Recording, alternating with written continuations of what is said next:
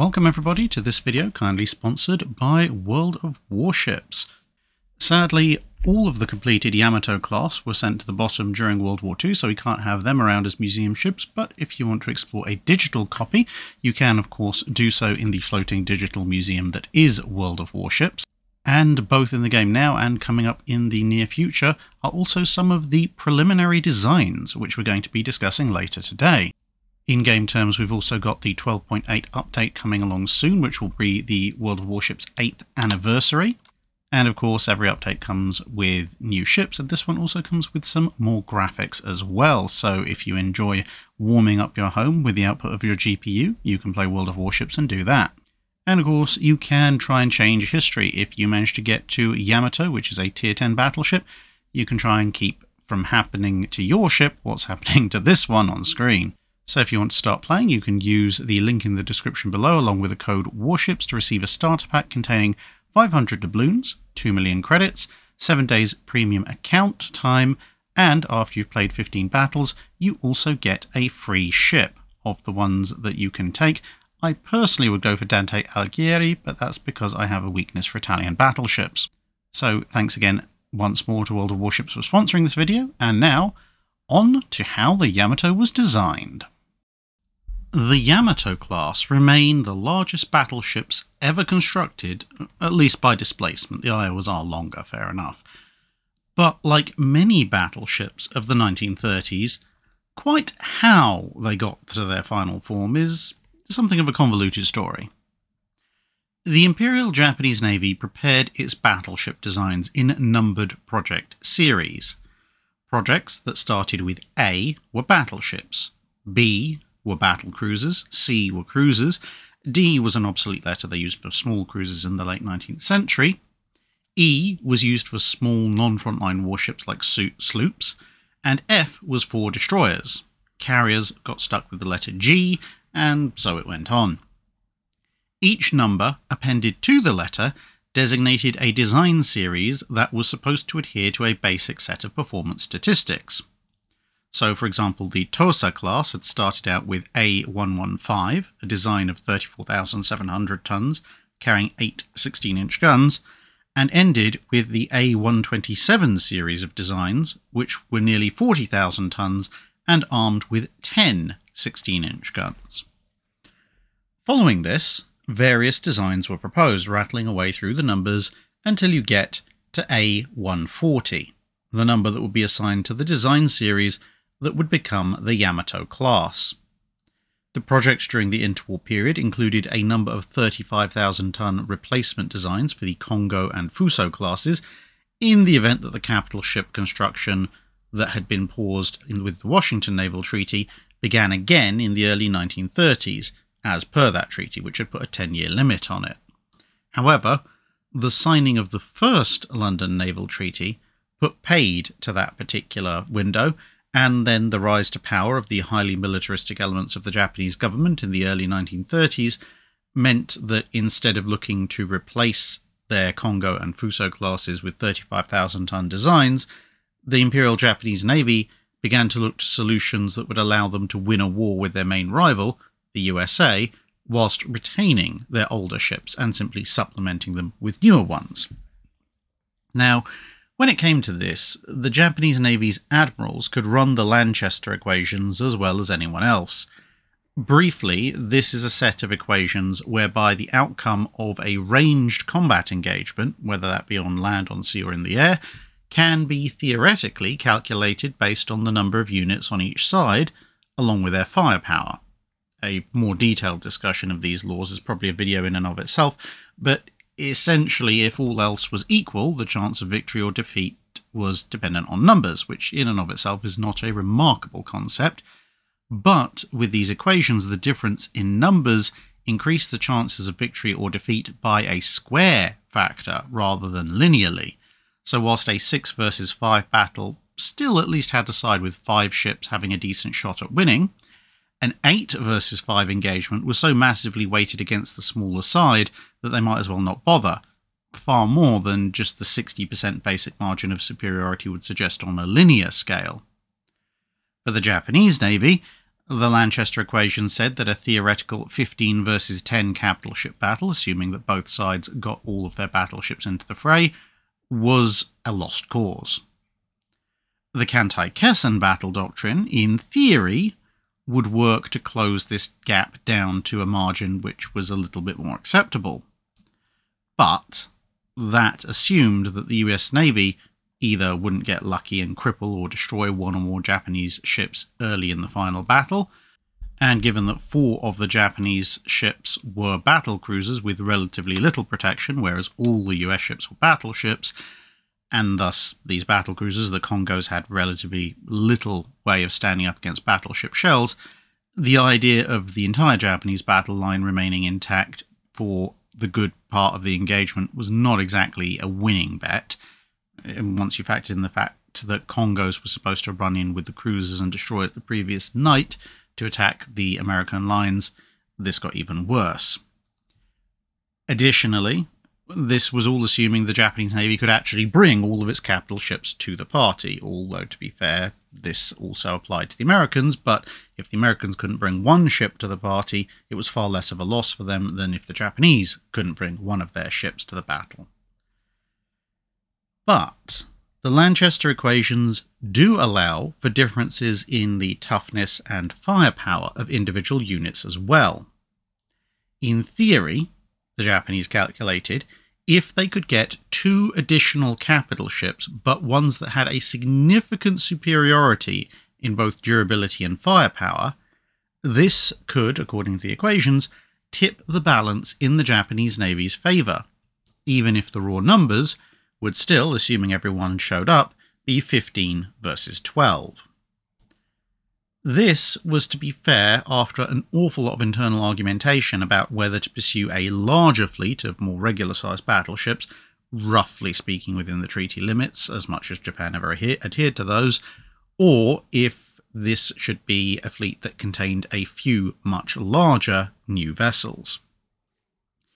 But the Japanese also anticipated that once news of these super ships got out, enemy nations would start building similar ships of their own, so, whilst two ships would be enough to tip the current balance, Japan would need a continuous program of construction to first stay ahead of the super battleship race in terms of absolute numbers, and then they would need to escalate to newer and even more powerful ships once the first ships built in response by the other navies were laid down.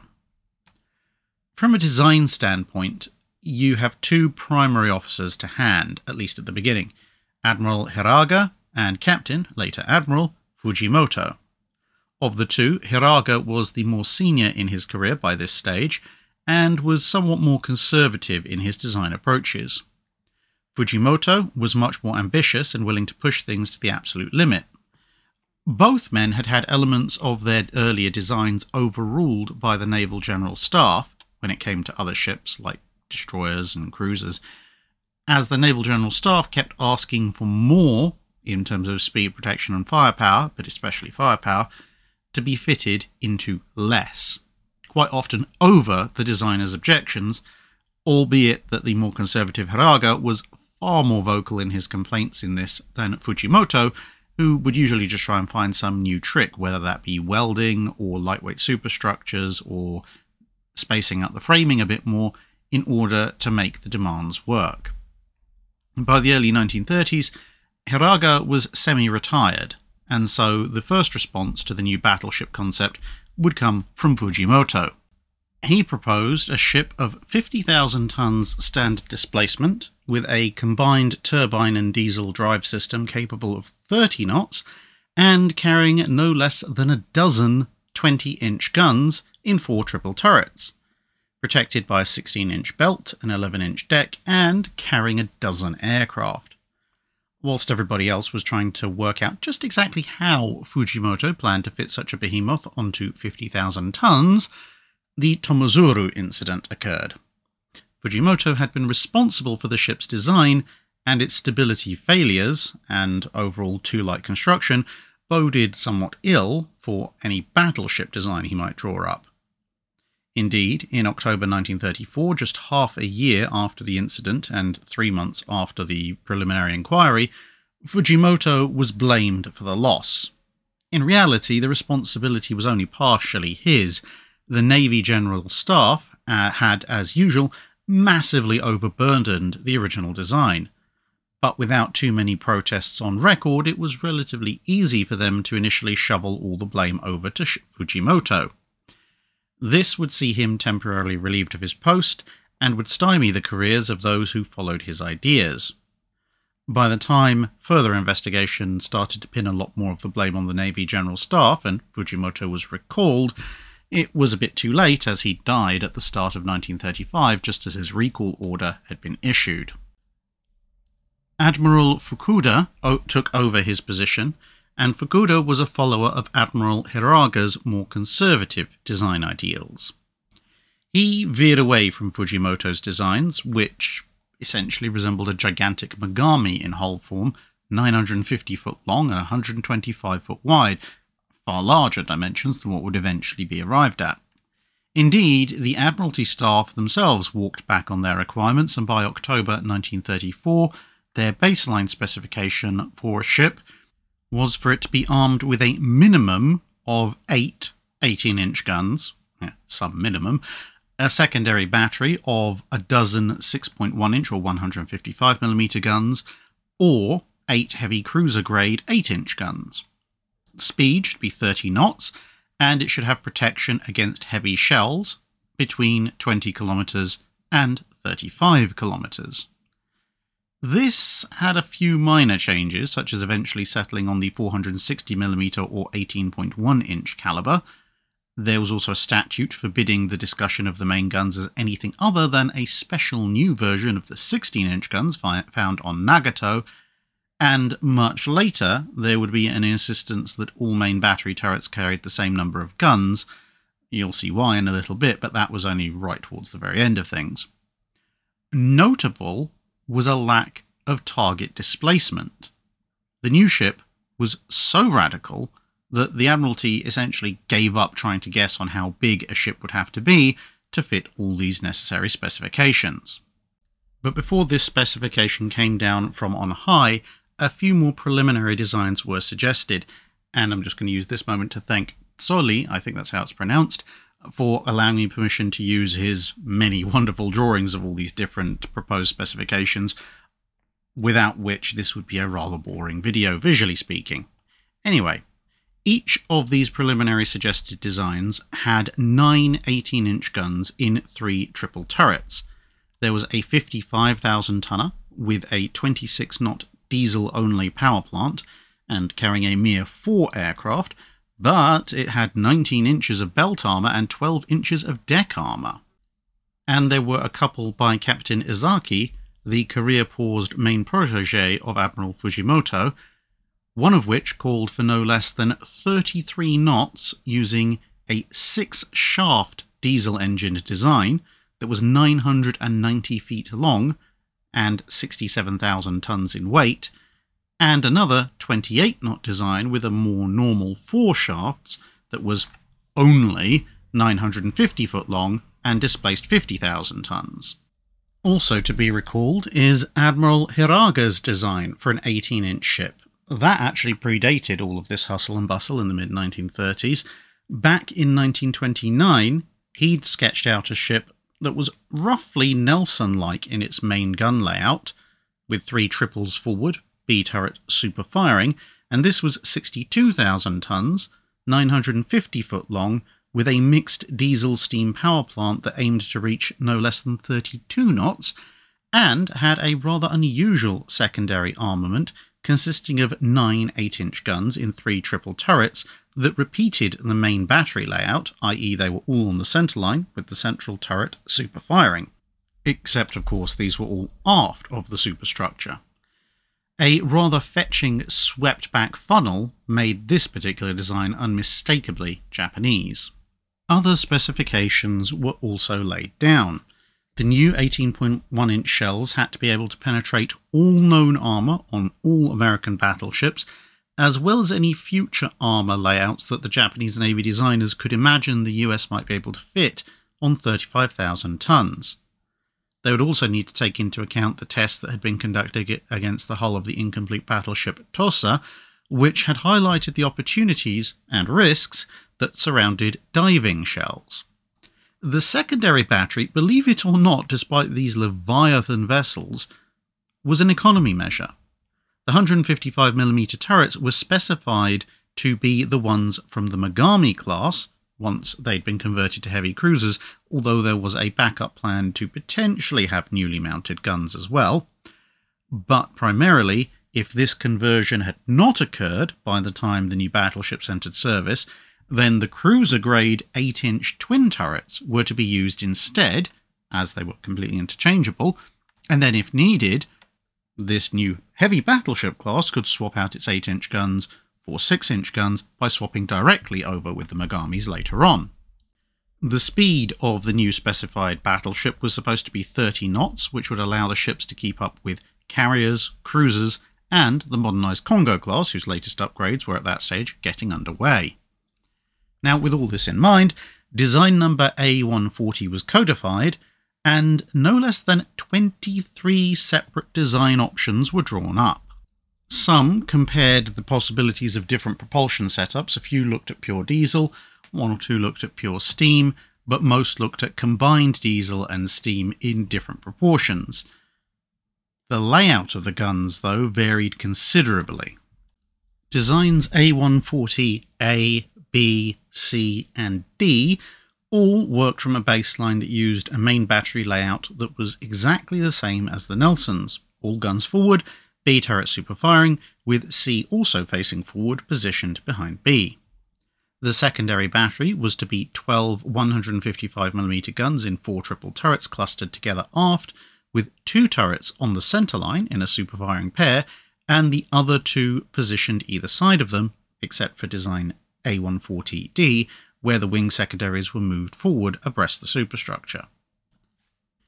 A140A had a combined machinery plant of 200,000 shaft horsepower, 68,000 shaft horsepower from diesels and 132,000 shaft horsepower from turbines, for a top speed of 30 knots on 68,000 tons. A140B used 140,000 shaft horsepower of pure diesel to get to 28 knots on 60,000 tons. Designs A140C and A140D were attempts to see if it was possible to reduce the size of the ships, and both had all diesel power plants. A140C dropped to 105,000 shaft horsepower and 26 knots, which saved 2,000 tons, displacement dropping to a total of 58,000 tons, which wasn't huge. A140D had the most radical changes of this quartet. The main belt was 2 foot shorter in height, compared with the standard 17.5 foot, and the guns dropped from 18.1 inches to just 16 inches. This combined with 140,000 shaft horsepower of diesels to get back up to 29 knots on 55,000 ton displacement. Then there was A140A1, A2, B1, and B2. In these cases, the 1 designs used triple turrets and the 2 designs used twin turrets, so they had 9 or 8 guns respectively. A1 and A2 displaced 68,000 tons, whilst B1 and B2 displaced 60,000 tons. The A's used 68,000 shaft horsepower of diesels and 132,000 shaft horsepower of turbines, whilst the Bs used 140,000 shaft horsepower of diesels only. As a result, the A's could hit 30 knots, whilst the Bs could only hit 28 knots. These designs all used a more traditional layout where the main guns were distributed fore and aft, but with some truly weird secondary layouts, albeit they were in some ways taking advantage of the huge lengths of these ships which in all designs mentioned thus far were either 810 or 909 feet long, and this meant that centerline mounts for the secondaries were at least partially possible. A1, which you've been seeing thus far, had two fore and one aft triple turrets for its main battery, but the secondary guns clustered where a superfiring aft turret might otherwise have been, with the aftmost triple 155mm super firing over the aft main turret, and the next triple 155mm was also on the centerline, a little lower, but was itself superfiring over the next two secondary turrets, which were positioned on either wing just aft of the superstructure. A2 used four twins, two forward and two aft, in superfiring pairs. This, of course, took up a little more of the centerline space, and so the wing turrets were moved to a position abreast the gap between the aft two main battery turrets for some reason, whilst the superfiring centerline 155mm turrets were each lowered by approximately a level and retained between the aft main battery and the superstructure, now tucking in under the rotation of the superfiring main turret. And as you just saw from the transition, the entire superstructure moved forward because it's possible to put a twin turret further forward on the narrowing hull of a ship than it is a triple. At least if you want to retain a decent torpedo defense system between, you know, the magazines and torpedoes. With their smaller power plants and lower top speed, B1 and B2 repeated these respective gun layouts just on smaller hulls. So we can see here B1 with the two triples forward and one triple aft, transitioning over into B2 with two twins forward and two twins aft. You'll notice, obviously being diesel powered, they also have a much reduced funnel structure. And as you can see throughout this entire design series, aircraft handling facilities are all positioned aft. Then there's a series of designs which have various labels depending on your source, which were derived from the Nelson style A140A, but slightly smaller than A140A's 68,000 tons and 910 foot length. A140G or GA was revised down from a sketch design of almost 70,000 tons that had 50 caliber main guns and was capable of 31 knots to a 65,800 ton design with 45 caliber guns capable of 28 knots using a 50-50 split diesel and steam plant for 150,000 shaft horsepower in total. Then you have A140 G1A, which dropped to 61,000 tons and 26 knots, powered by 115,000 shaft horsepower, which came from 60,000 shaft horsepower worth of turbines and 55,000 shaft horsepower worth of diesels.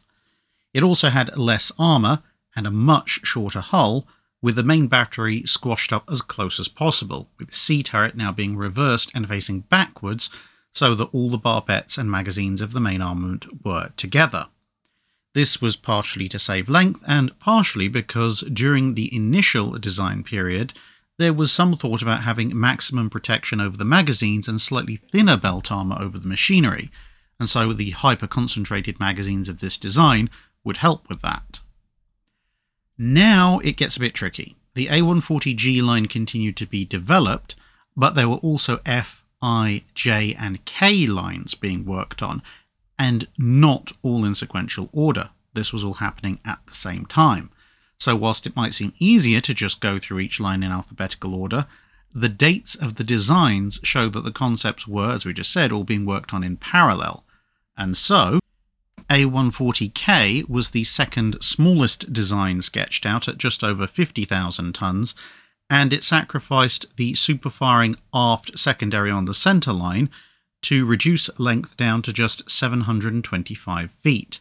And because the hull now narrowed up front from pretty much C turret forward, and the gun layout was back to the Nelson style layout, the forward triple turret had to become a twin, otherwise, there'd be no room left for torpedo defense systems. This left the ship with eight guns instead of nine.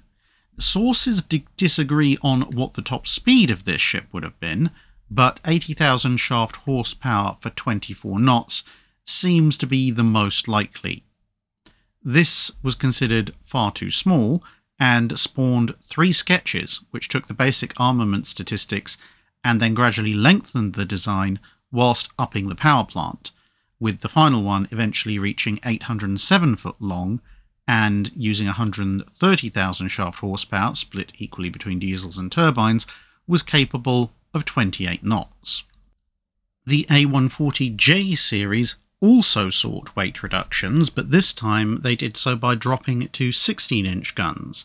This also used the reversed C turret layout of the G1A, but at 794 foot, thanks to the reduction in size of the main turrets due to the smaller guns.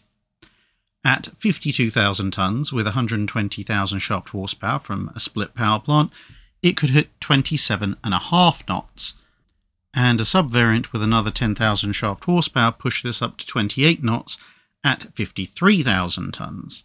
These vessels were protected against 16 inch gunfire and don't seem to have been taken especially seriously by the Japanese Navy.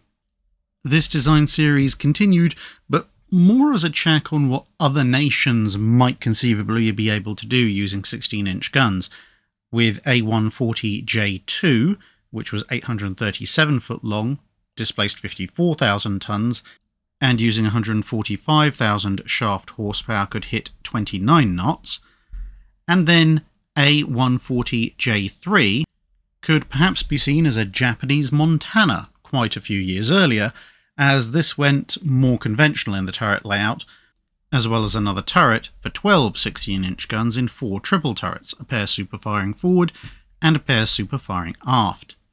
At 827 foot long and 58,500 tons, it could have made 28 knots using the same 145,000 shaft horsepower power plant as J2. Then we're back to A140G series with A140GOA or possibly A140G0A. This was developed from G1A but was larger at 65,500 tons and as a result it was back up to 28 knots using 145,000 shaft horsepower power plant, still split between steam and diesel. Like Design K, this also spawned a trio of sketches which were actually very similar to Design K in that it went back to the Nelson style layout but with the forward turret downgraded to a twin, with the hulls between 800 and 820 feet in length and speeds of 26 to 27 knots, finishing off quite convergent to the last of the K sketches. This led to A140G2A or GZA, depending on your source, which was about 59,000 tons, with 143,000 shaft horsepower and capable of 28 knots.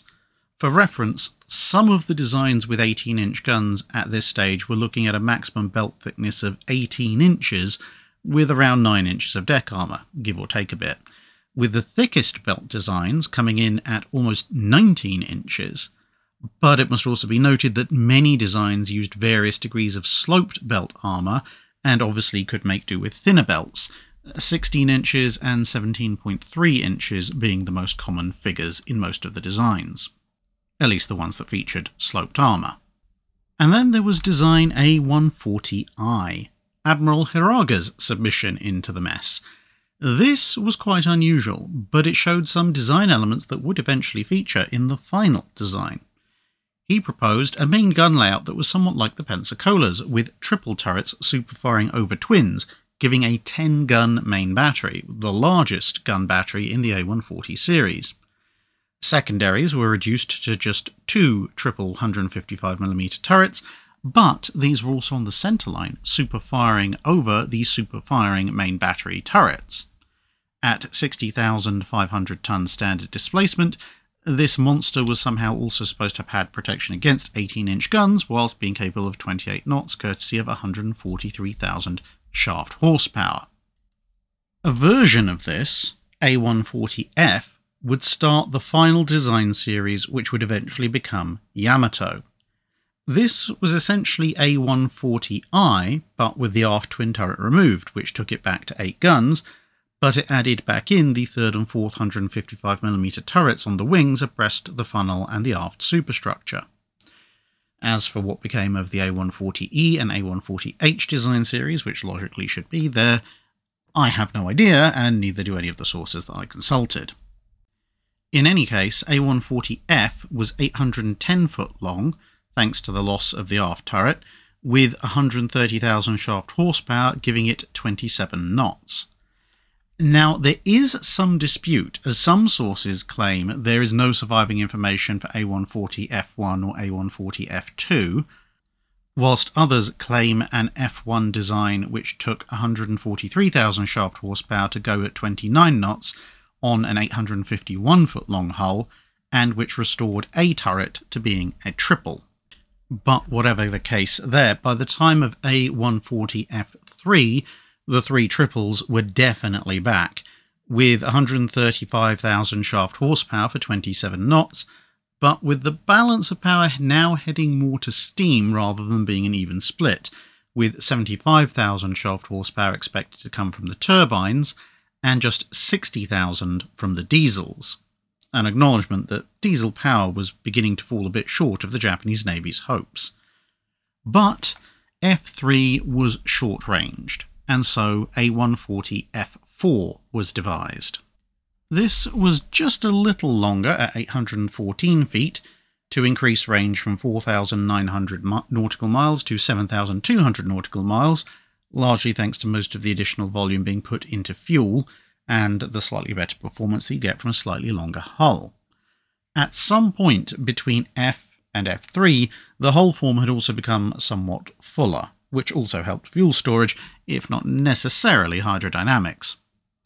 It was thus that, like with the North Carolina class, the Nelson style all forward arrangement only went away towards the very end of the design process.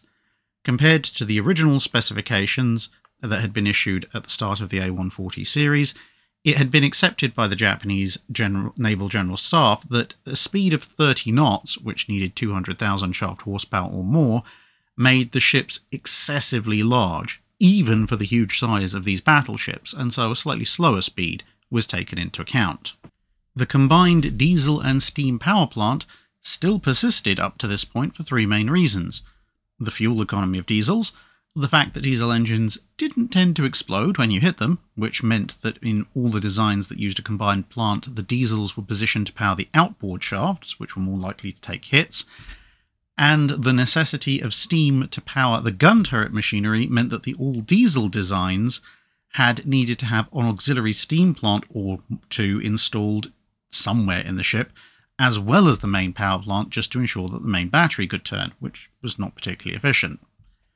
Now, to give some idea of the potential advantages of a split power plant in terms of fuel economy, the A140 G1A design, for example, had had two iterations prepared, both using 115,000 shaft horsepower, but one used just turbines, the other used 45,000 shaft horsepower worth of turbines and 70,000 shaft horsepower worth of diesels. The all turbine option was 245 tons lighter in terms of machinery, and this machinery took up just under 1400 square foot less space, which made it somewhat more efficient in terms of horsepower per square foot, but to go 8,000 nautical miles, the turbines needed 8,400 tons of fuel, whilst the combined plant only needed 5,700 tons of fuel, which is 68% as much. This would obviously make for significant savings.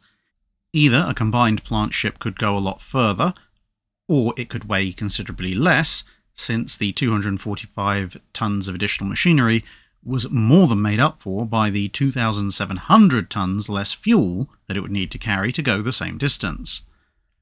But unfortunately, the diesels being tested in the fleet were continuously underperforming, well below the output and reliability which had been assumed in the A140 design series, and which was an especial problem for this particular design series because that massive thick armoured deck was structural and thus you really couldn't afford to cut it open every year or so when your diesels broke down.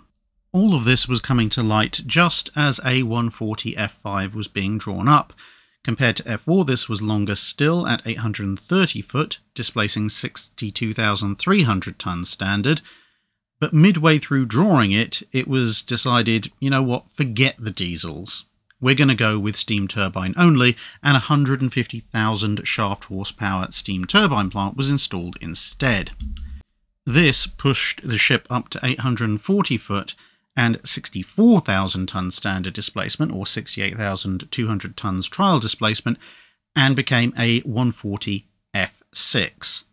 F5 had actually already been authorised for construction, and so the revised F6 design simply took its place.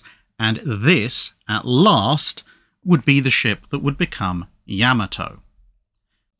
Now, as with many ships, especially groundbreaking ones, minor changes would continue to be made during the build process, and once she was finally in the water, Yamato had grown to 65,000 tons standard displacement, 69,100 tons on trials, and 72,800 tons when fully loaded.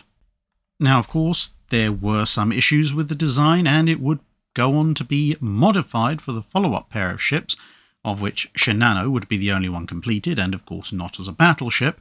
And for subsequent designs for even more powerful vessels, the design was revised still further and became even larger. But that will be a subject for another time.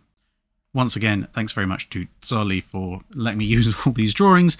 Uh, link in the video description below if you want to see these and many others which he has done over the course of his ship drawing career, which hopefully will go strong for quite a time to come. That's it for this video. Thanks for watching. If you have a comment or suggestion for a ship to review, let us know in the comments below. Don't forget to comment on the pinned post for dry dock questions.